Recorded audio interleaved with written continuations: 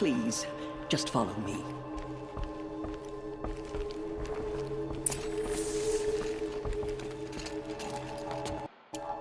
Aloy, the Proving Massacre was just the first of many disasters.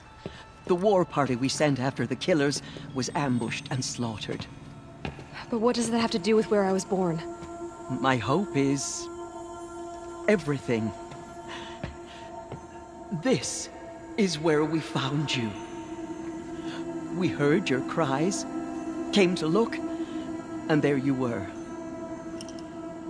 Just... just lying there? Yes, You mean I came from behind the door? always that is what I have believed.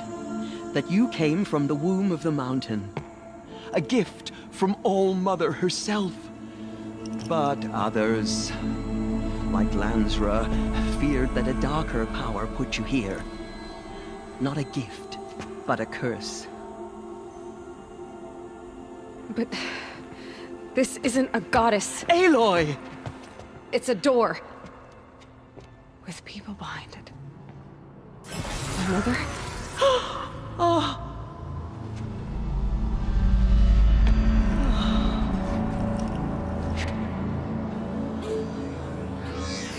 Hold for identiscan. The goddess speaks. Just like the woman I saw.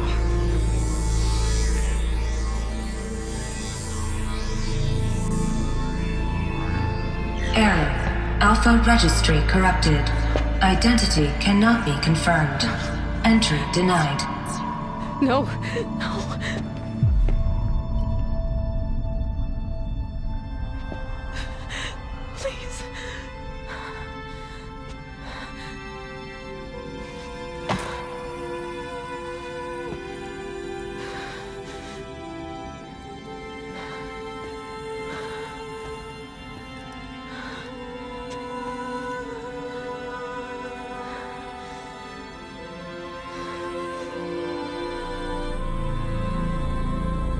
Aloy, All Mother spoke to you, as if she knew you.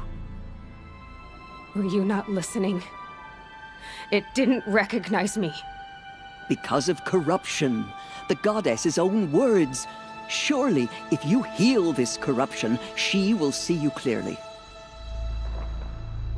And how would I do that? You said you've had visions. Of a woman with short hair. The killers came for me because I look like her. But their power is overwhelming. Is there no other trail to follow? Olin. He was one of the outsiders. The night before the proving. The killer saw me through his eyes. He lives in Meridian. So you will have to leave the sacred land. I've been an outcast all my life. Why not an exile too? Shh. There is another way. Come, and we will make it so.